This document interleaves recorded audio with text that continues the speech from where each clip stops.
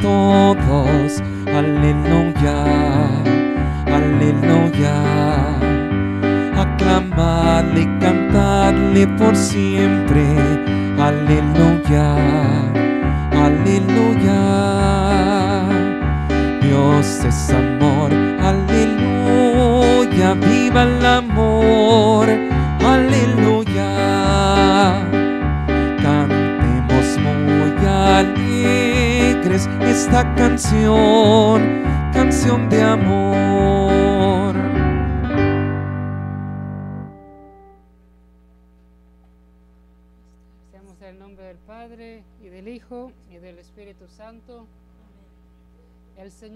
Con ustedes.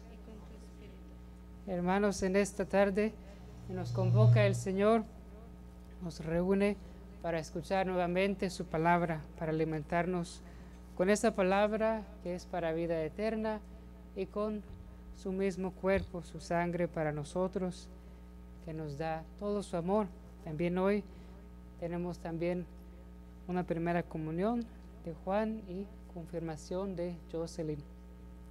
Otro día especial para ellos, que así se ha querido, providencia de Dios, que fuera hoy para ellos. Los acompañamos con nuestra oración.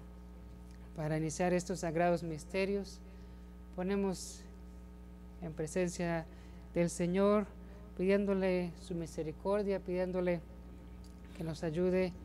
Hoy las lecturas nos hablan del amor mutuo, especialmente cuando hay discordias, cuando hay una corrección que hacer a un hermano o una hermana.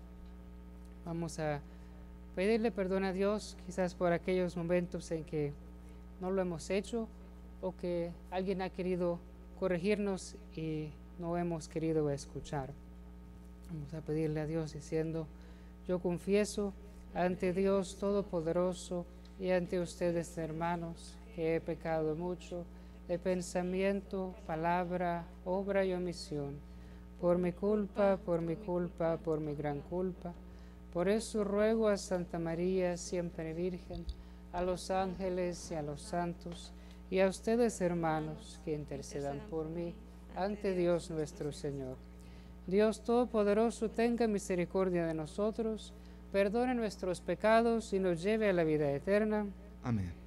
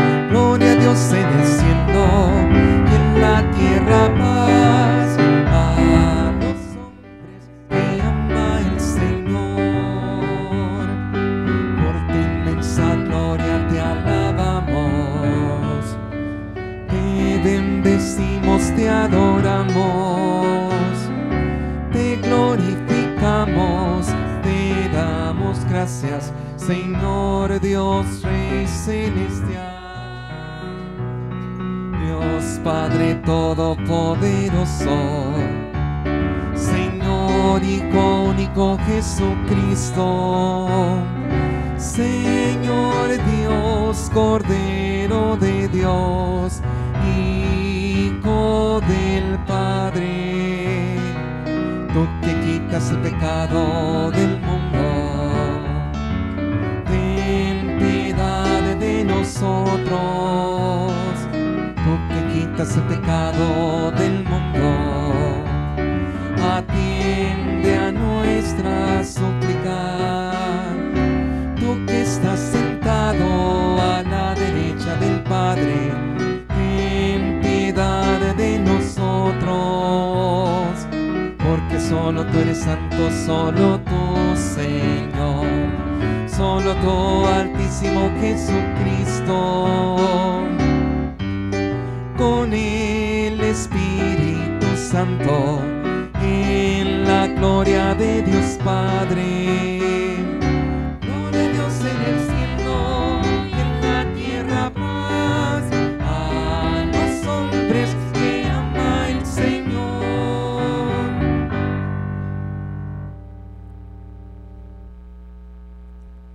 Oremos.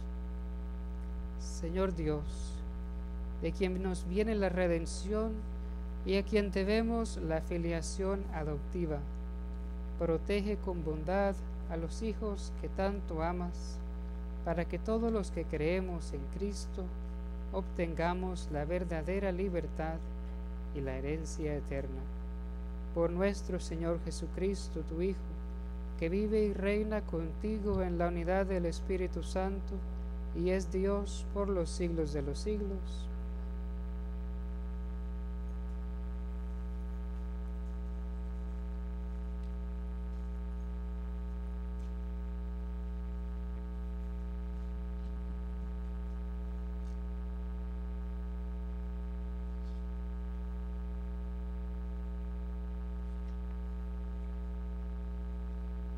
Del libro del profeta Ezequiel.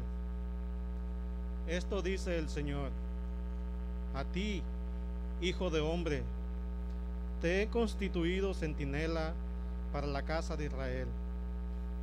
Cuando escuches una palabra de mi boca, tú se la comunicarás de mi parte.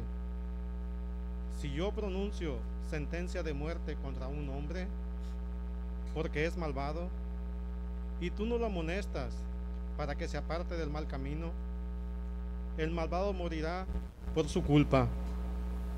Pero yo te pediré a ti cuentas de su vida. En cambio, si tú lo amonestas para que deje su mal camino y él no lo deja, morirá por su culpa. Pero tú habrás salvado tu vida. Palabra de Dios.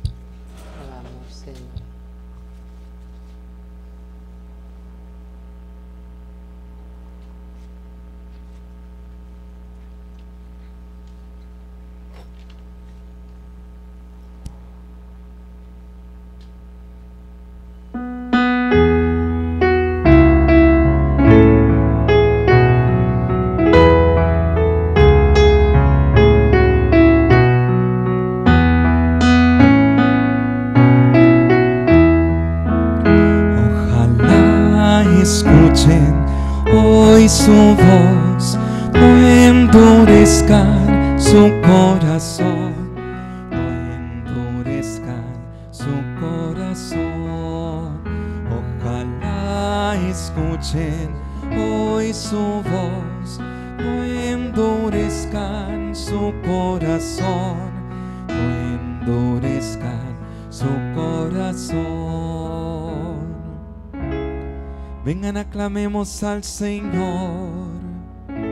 Demos victorias a la roca que nos salva.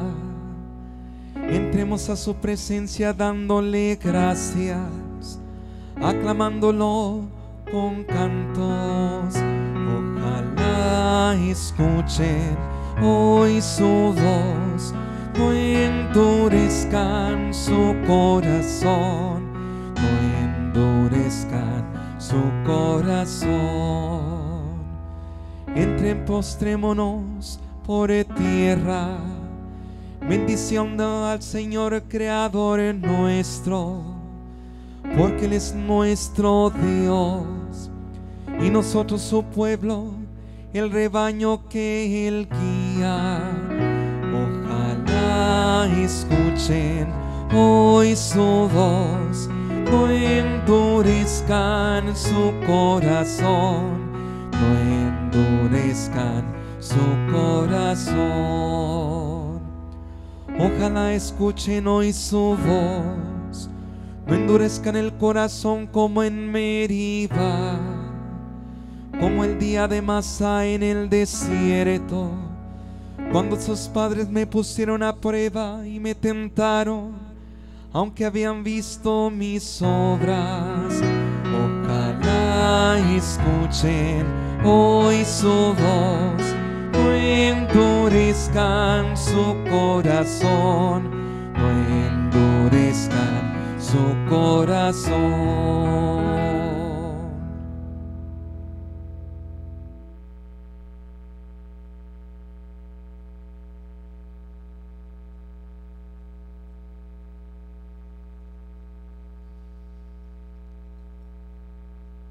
Carta del apóstol San Pablo a los romanos. Hermanos, no tengan con nadie otra deuda que la del amor mutuo, porque el que ama al prójimo ha cumplido ya toda la ley. En efecto, los mandamientos que ordenan, no cometerás adulterio, no robarás, no matarás, no darás falso testimonio, no codiciarás. Y todos los otros se, res- se resumen en este.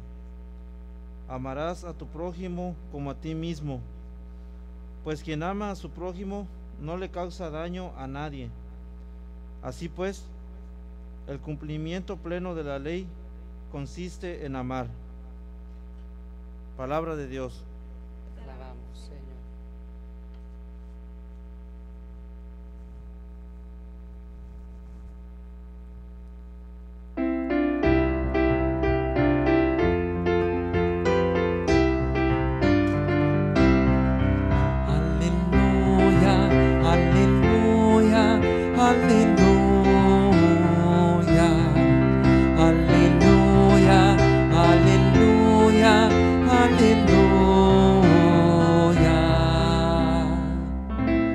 En Cristo Dios reconciliaba al mundo con Él y nos, y nos entregaba el mensaje de la reconciliación. Aleluya, aleluya, aleluya.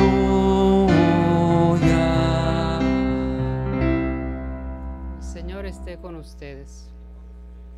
Lectura del Santo Evangelio según San Mateo.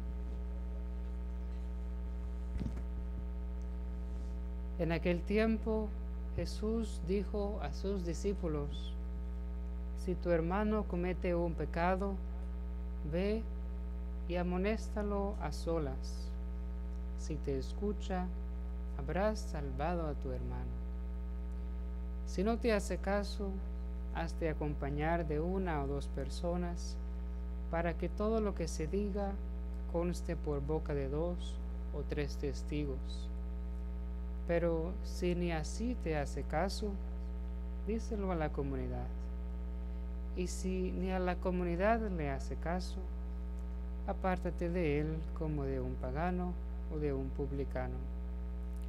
Yo les aseguro que todo lo que aten en la tierra quedará atado en el cielo, y todo lo que desaten en la tierra quedará desatado en el cielo. Yo les aseguro también que si dos de ustedes se ponen de acuerdo para pedir algo, sea lo que fuere, mi Padre Celestial se lo concederá. Pues donde dos o tres se reúnen en mi nombre, ahí estoy yo en medio de ellos. Palabra del Señor.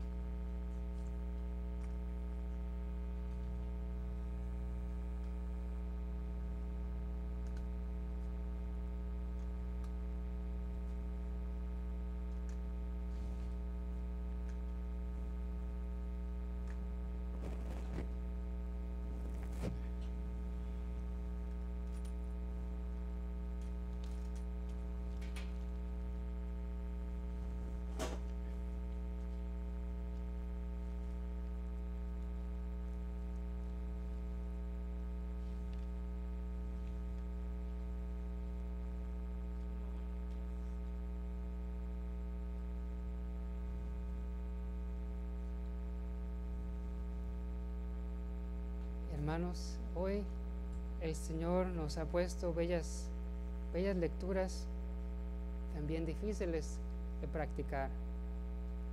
Nos habla del amor entre unos y otros, de cómo ese amor nos hace también responsables de los unos a los otros. Dice esa primera lectura del profeta Ezequiel que escuchamos, dice que si hay un hombre malvado, que el malvado morirá por su culpa, la culpa de aquel hombre malvado, por su propia culpa. Pero dice, si tú no lo, no lo amonestas para que se aparte del mal camino, yo te pediré a ti cuentas de su vida. Es decir, pues cada quien se salva o se pierde por sus propias obras, pero dice el Señor que si no nos ayudamos mutuamente, que también nos va a pedir cuentas si no hicimos nada. Si vimos a alguien que quizás ocupaba un consejo, si vimos a alguien que lo veíamos que iba por mal camino, que sabíamos que iba a ir empeorando, que no hicimos nada, que también dice, pediré a ti cuentas de su vida. Entonces nos habla de cómo ese amor que tenemos los unos a los otros implica una responsabilidad de los unos a los otros. Nos dice San Pablo de otra manera, dicen, no, no deban a nadie menos que el amor. Dice, no tengan con nadie otra deuda que la del amor mutuo. Entonces, si ese amor mutuo, nos dice Ezequiel, que debemos estar como ese centinela está vigilando de lo malo que puede andar rondando, de lo malo en que podemos caer, no solo en nuestra propia vida, sino en la vida de los que están a nuestro alrededor. es algo bonito el cuidarnos, pero también difícil porque a veces pues no queremos escuchar. A veces no queremos escuchar si alguien nos va a decir, mira lo que estás haciendo, o esto no está bien, o este camino en el que vas, mira dónde te va a llevar. A veces no queremos escuchar eso. Y dice el Señor que nos debemos ese amor mutuo. Y a veces pues hay que también fijarnos en que si nosotros vamos a corregir a alguien, ¿cuál es nuestra intención? Porque la intención siempre debe ser el amor. La intención debe ser siempre el amor, desde allí, desde el amor. Y empezar con esa sola persona, nos dice Jesús en el Evangelio, dice, si tu hermano comete un pecado, ve y amonéstalo a solas.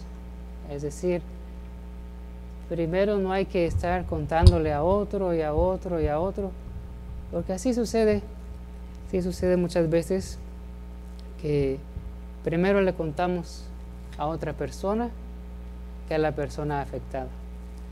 A veces sucede así que ya cuando venimos a ver, ya saben muchas personas y la persona afectada todavía ni siquiera sabe y ya sabe toda la comunidad. Entonces, eso es clave. Lo primero, que sea la intención por amor.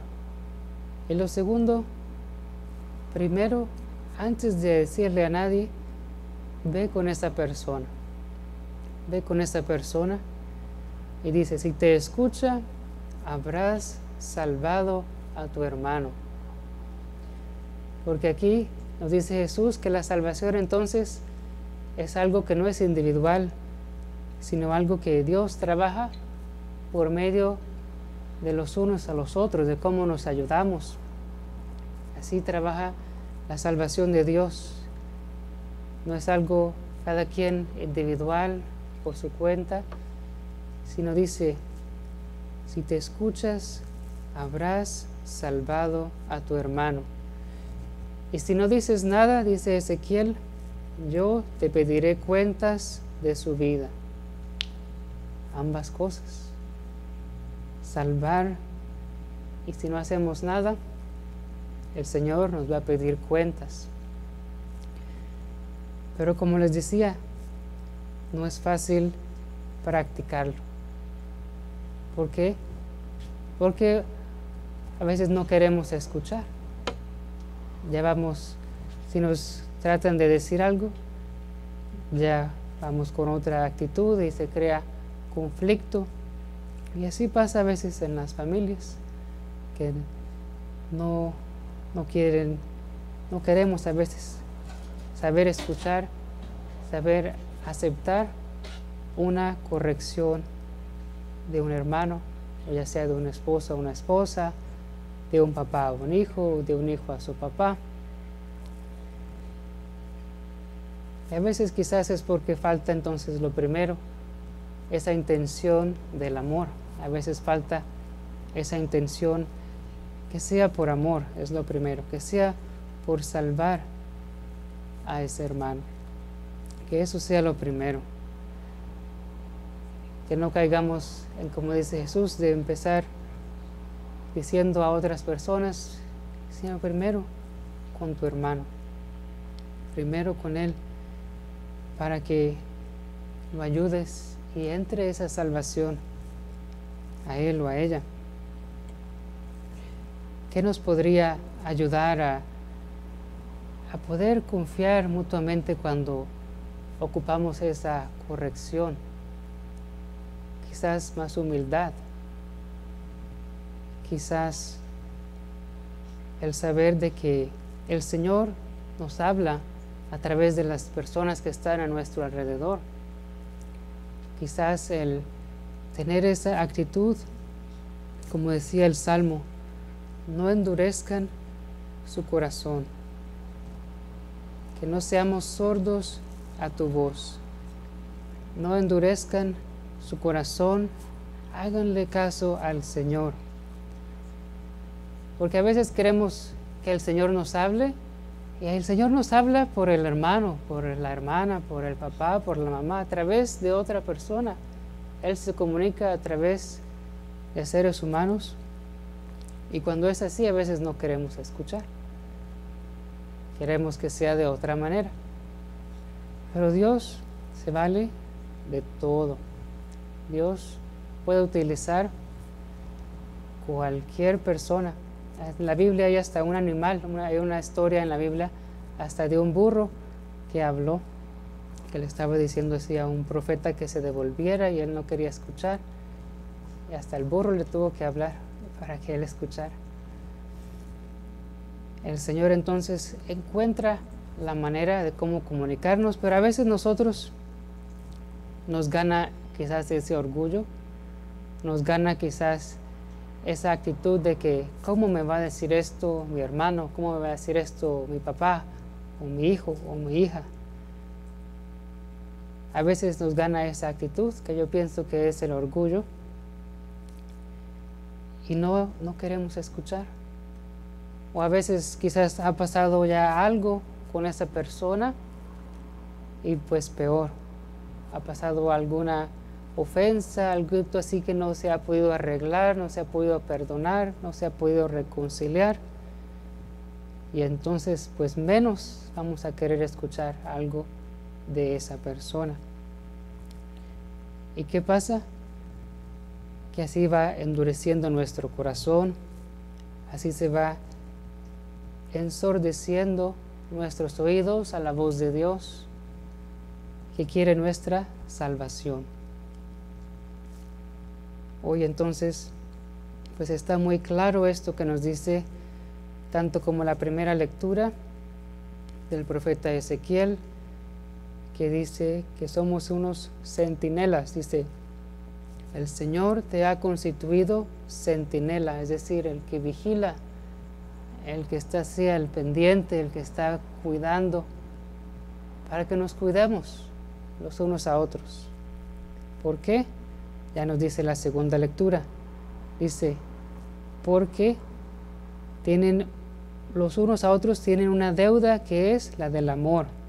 Dice, no tengan con nadie otra deuda que la del amor. El amor mutuo, porque el que ama al prójimo ya ha cumplido toda la ley, dice. Y el que ama al prójimo ya ha cumplido toda la ley. Ese amar al prójimo es ese cuidarnos, es ese estar pendientes del uno al otro, el saber que el mal está rondando y por eso hay que cuidarnos, de estar en esa actitud, de siempre estar viendo por el bien de la otra persona, de tener ese corazón que esté abierto para estar cuidando y también para estar recibiendo quizás ese consejo, quizás esa palabra quizás esa amonestación o exhortación que necesitamos escuchar y que tal vez no queremos escuchar a veces, pero es la voz de Dios. Es la voz de Dios que dice que quiere nuestra salvación. Dice, si te escucha, has salvado a tu hermano. Dios es el que salva, pero a través de nosotros alguien se puede salvar. Entonces, todo esto es, es algo clave pues para nuestra vida, algo fácil de entender, pero yo pienso difícil de practicar a veces, especialmente a veces en las familias, a veces pasa de que entre hermanos a veces ya el uno con el otro no se hablan bien o entre una hermana y la otra tampoco. O, a veces el papá dice, no, si yo soy el papá, ¿tú por qué me vas a decir eso si yo soy el papá? Yo soy la mamá, ¿quién es la que manda, tú o yo? Pero Dios, Dios nos puede hablar a través de cualquier persona. Entonces, pidámosle a Dios esa humildad, primero que todo, pidámosle a Dios ese amor mutuo, que, que nos estemos cuidando los unos a otros y pidámosle a Dios que nos dé un corazón atento, como dice el Salmo. No endurezcan su corazón, que no seamos sordos a tu voz, sino que sepamos estar atentos a que Dios habla, a que Dios nos habla, especialmente a veces puede ser de la persona que menos esperamos, ahí nos puede estar hablando el Señor. Entonces vamos a ponernos de pie y profesar nuestra fe. Creo en un solo Dios, Padre Todopoderoso, Creador del cielo y de la tierra, de todo lo visible y lo invisible. Creo en un solo Señor Jesucristo, Hijo único de Dios nacido el Padre antes de todos los siglos, Dios de Dios, luz de luz, Dios verdadero de Dios verdadero, engendrado, no creado, de la misma naturaleza del Padre, por quien todo fue hecho, por nosotros los hombres y por nuestra salvación bajo del cielo. Por obra del Espíritu Santo se encarnó de María la Virgen y se hizo hombre. Por nuestra causa, fue crucificado en tiempos de Poncio Pilato, padeció y fue sepultado. Resucitó al tercer día según las Escrituras y subió al cielo, y está sentado a la derecha del Padre, y de nuevo vendrá con gloria para juzgar a vivos y muertos, y su reino no tendrá fin.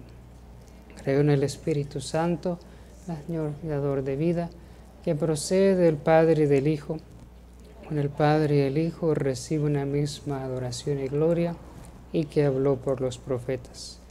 Creo en la Iglesia, que es una santa, católica y apostólica. Confieso que hay un solo bautismo de los pecados y espero la resurrección de los muertos y la vida del mundo futuro. Amén.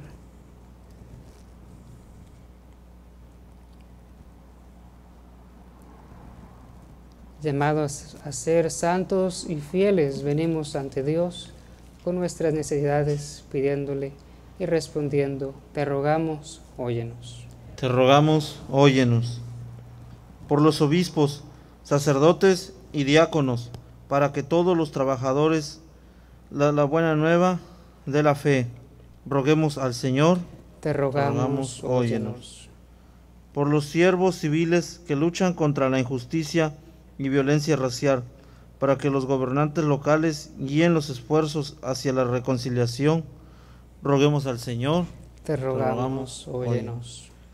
por todos los que perdieron a seres amados en la tragedia del 11 de septiembre, para que encuentren consuelo en la promesa de la vida eterna, por todos los que trabajan en circunstancias peligrosas, para que los gerentes de las empresas mejoren las condiciones de trabajo. Roguemos al Señor, Te rogamos, rogamos, óyenos. por todos los trabajadores en la viña del Señor, para que conozcan la alegría y la plenitud en su llamado, por todas las personas que están sufriendo a causa del coronavirus. Roguemos al Señor Te rogamos, rogamos, óyenos. óyenos. para las ne- necesidades de nuestra parroquia, para que podamos continuar siendo bendecidos con dones de tiempo, talento y recursos para difundir su reino aquí en nuestra iglesia. Roguemos al Señor Te rogamos, rogamos, óyenos. por los prisioneros y por nuestros enfermos, especialmente por Sonia Armenta, Plácida Sánchez, Clara Scobron, Amalia Cruz, Marta Morales, Jesús García, Katia Allen, Padre Carlos Medina, Guadalupe Morales, por todos los que están sufriendo con cáncer, también por todos los que han partido a la presencia del Señor. Roguemos al Señor. Te Te rogamos. rogamos, óyenos. especialmente por la señora Lala, Lala Félix, por su descanso eterno. Dios del conocimiento y de sabiduría, te ofrecemos nuestras alabanzas y oraciones en nombre de tu Hijo, Jesucristo nuestro Señor. Amén.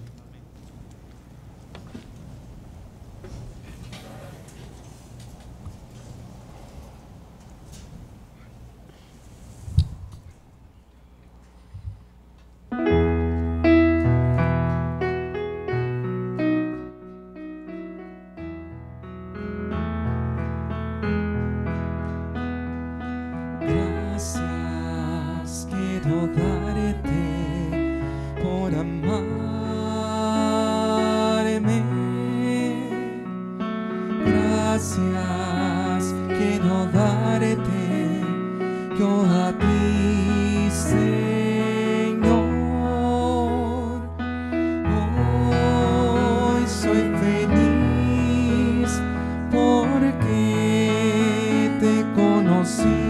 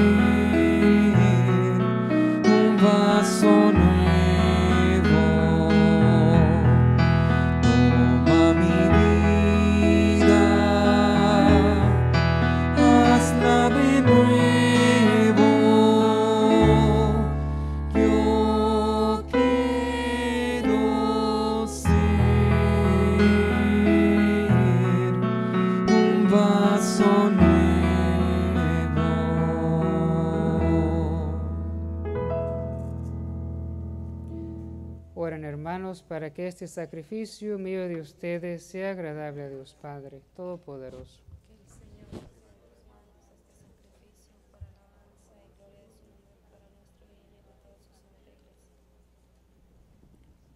Concede, Señor, a tus fieles Dios, fuente de toda devoción sincera y de la paz, concédenos honrar en estos dones tu majestad, de tal manera que al participar en estos santos misterios, todos quedemos unidos en un mismo sentir por Jesucristo nuestro Señor.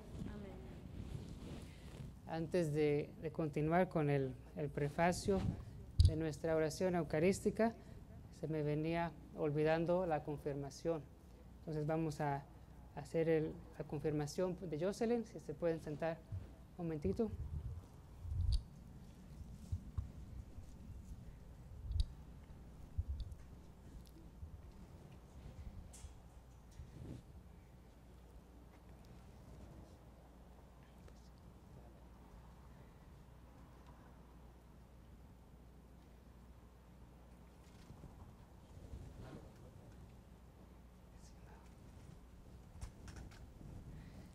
Jocelyn, ¿puedes acercarte, por favor?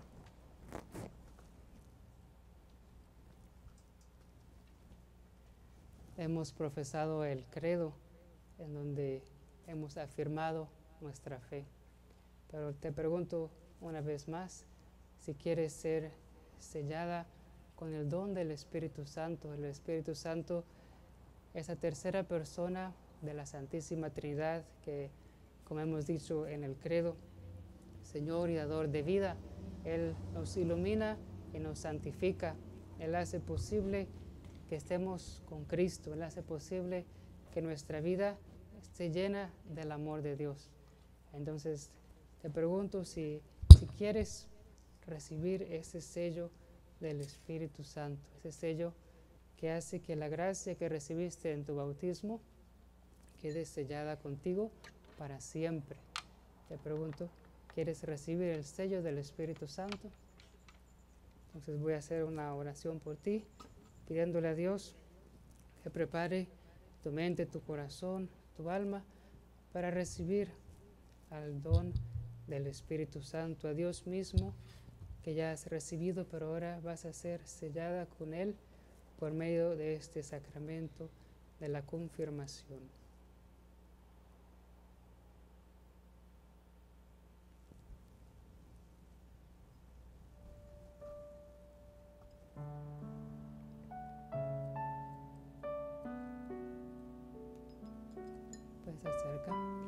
Jocelyn recibe el sello del don del Espíritu Santo.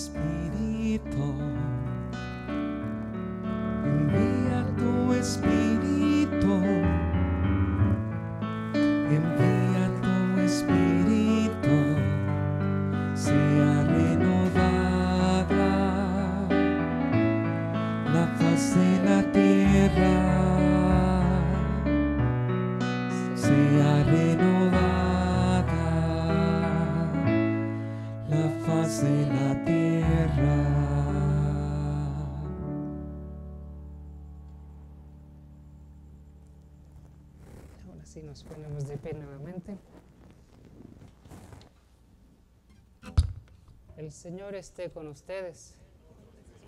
Levantemos el corazón. Demos gracias al Señor nuestro Dios. En verdad es justo y necesario, es nuestro deber y salvación, darte gracias, Padre Santo, siempre y en todo lugar, por Jesucristo, tu Hijo amado. Por Él que es tu palabra, hiciste todas las cosas. Tú nos lo enviaste para que hecho hombre por obra del Espíritu Santo y nacido de María la Virgen, fuera nuestro Salvador y Redentor.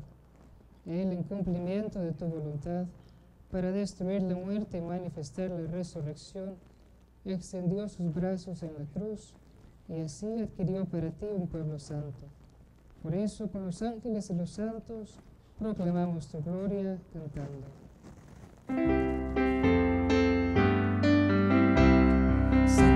Santo, santo, es el Señor, Dios del universo. Llenos Dios está en el cielo y la tierra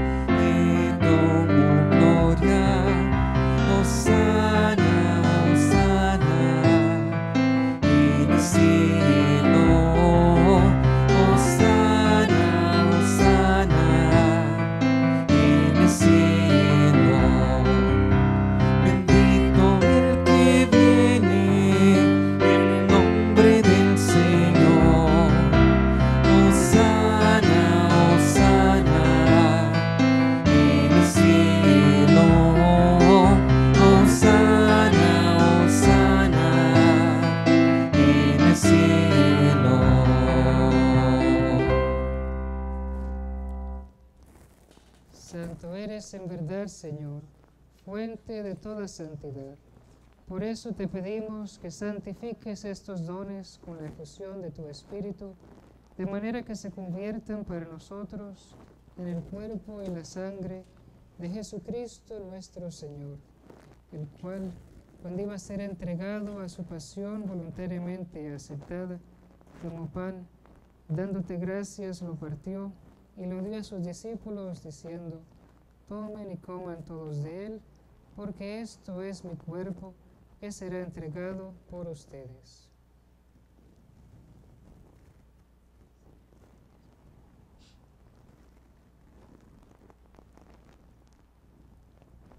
Del mismo modo, acabada la cena, tomó el cáliz y dándote gracias de nuevo, lo pasó a sus discípulos diciendo, Tomen y beban todos de él, porque este es el cáliz de mi sangre, sangre de la alianza nueva y eterna, que será derramada por ustedes y por muchos para el perdón de los pecados. Hagan esto en conmemoración mía.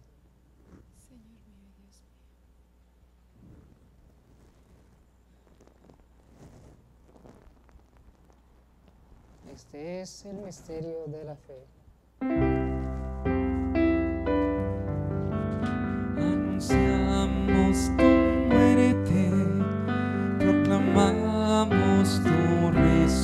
Resurrección. Ven Señor Jesús, Señor Jesús. Así pues, Padre, al celebrar ahora el memorial de la muerte y resurrección de tu Hijo, te ofrecemos el pan de vida y el cáliz de salvación y te damos gracias porque nos haces dignos de servirte en tu presencia. Te pedimos humildemente que el Espíritu Santo congregue en la unidad a cuantos participamos del cuerpo y la sangre de Cristo. Acuérdate, Señor, de tu iglesia extendida por toda la tierra, con el Papa Francisco, con nuestro obispo Roberto y todos los pastores que cuidan de tu pueblo, llévala a su perfección por la caridad. Acuérdate también de nuestros hermanos que se durmieron en la esperanza de la resurrección y de todos los que han muerto en tu misericordia, admítelos a contemplar la luz de tu rostro. Ten misericordia de todos nosotros, y así con María la Virgen, Madre de Dios, su esposo San José, los apóstoles y cuantos vivieron en tu amistad a través de los tiempos, merezcamos por tu Hijo Jesucristo compartir la vida eterna y cantar tus alabanzas.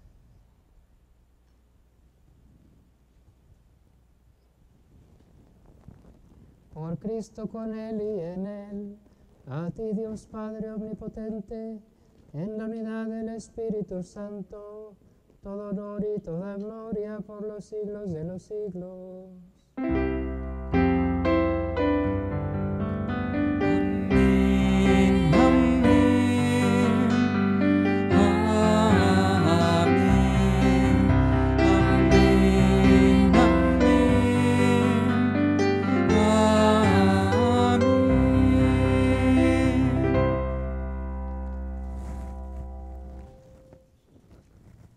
Fieles a la recomendación del Salvador y siguiendo su divina enseñanza, nos atrevemos a decir, Padre nuestro que estás en el cielo, santificado sea tu nombre, venga a nosotros tu reino, hágase tu voluntad en la tierra como en el cielo. Danos hoy nuestro pan de cada día, perdona nuestras ofensas, como también nosotros perdonamos a los que nos ofenden. No nos dejes caer en tentación y líbranos del mal. Líbranos de todos los males, Señor, y concédenos la paz en nuestros días, para que, ayudados por tu misericordia, vivamos siempre libres de pecado y protegidos de toda perturbación, mientras esperamos la gloriosa venida de nuestro Salvador Jesucristo. Señor Jesucristo, que dijiste a tus apóstoles, la paz les dejo, mi paz les doy, no tengas en cuenta nuestros pecados, sino la fe de tu iglesia, y conforme a tu palabra, concédele la paz y la unidad, tú que vives y reinas por los siglos de los siglos. La paz del Señor esté siempre con ustedes. Y con tu espíritu. Damos un saludo de paz. La paz del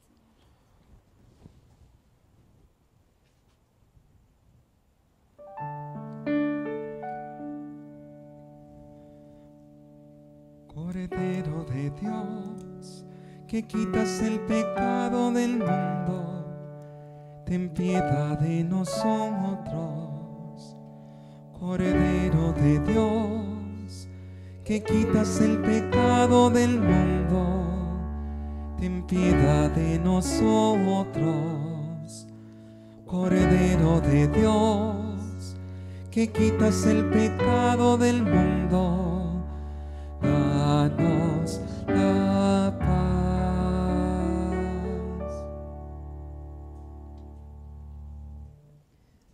es Cristo, el Cordero de Dios, quita el pecado del mundo. Dichosos los invitados a la cena del Señor.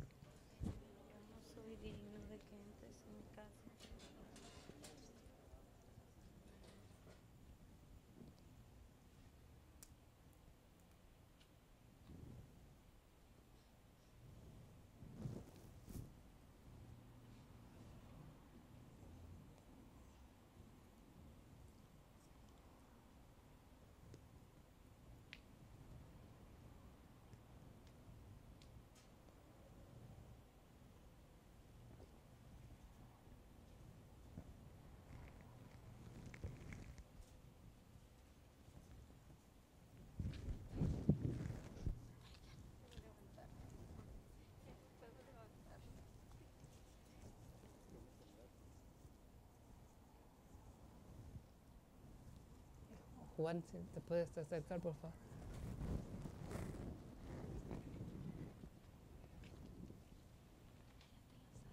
El cuerpo de Cristo.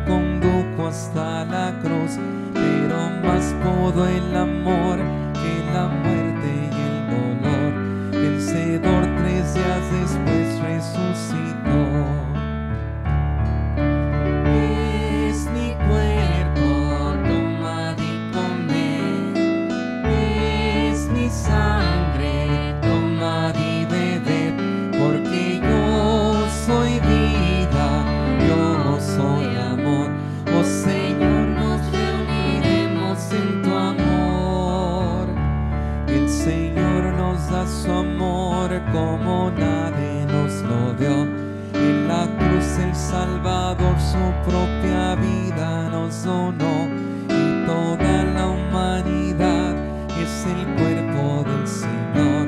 Nada puede separarnos de su amor.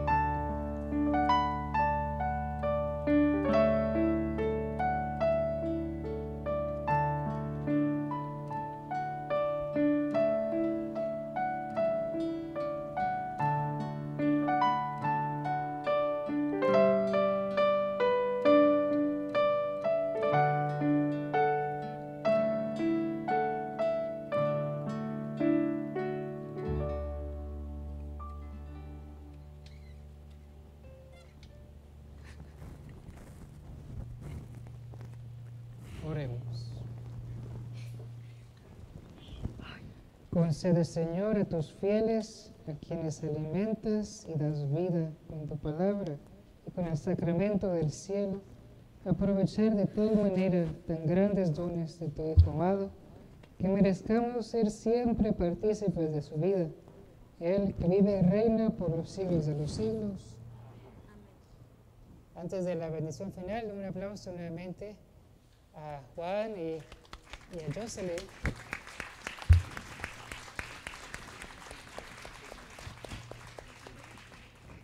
El Señor esté con ustedes. La bendición de Dios Todopoderoso, Padre, Hijo y Espíritu Santo, descienda sobre ustedes y los acompañe siempre. Vayamos en la paz de Cristo.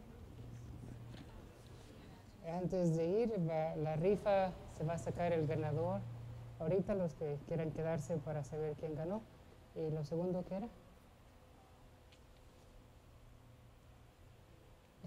¿Cuál fue? Ah, y, la, y ahora la donación para el orfanato La Gloria está una cajita ahí para eso. Entonces, ¿cómo va a ser lo de la rifa? Ok. Nos podemos sentar, los que, los que ya se quieran, ya se pueden ir, los que se tienen que ir. O los que quieren quedarse la rifa. Van a sacar ahorita el ganador.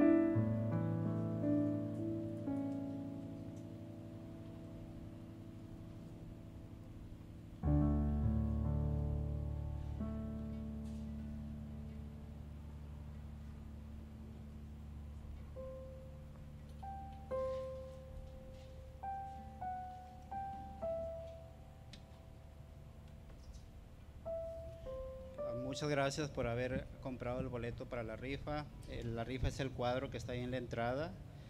Nada más quiero invitar a una niñita que venga para que saque el boleto ganador.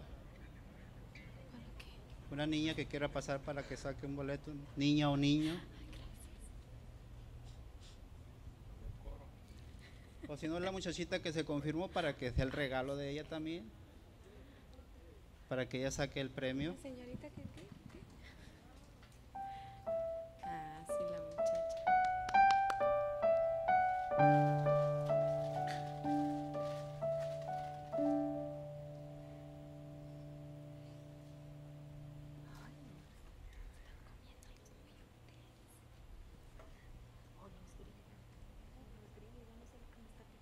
El nombre es Javier Ramírez.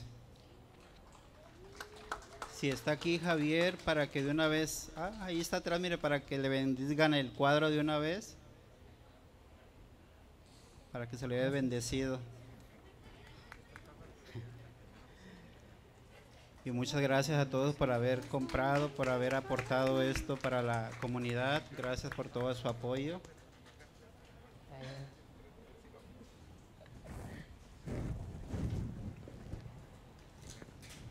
Bendice Señor esta imagen de la última cena para que sean siempre sus tiempos en familia, en su mesa familiar. Tengan ahí presente también al Señor y sean ustedes bendecidos. En nombre del Padre, del Hijo del Espíritu Santo. Amén.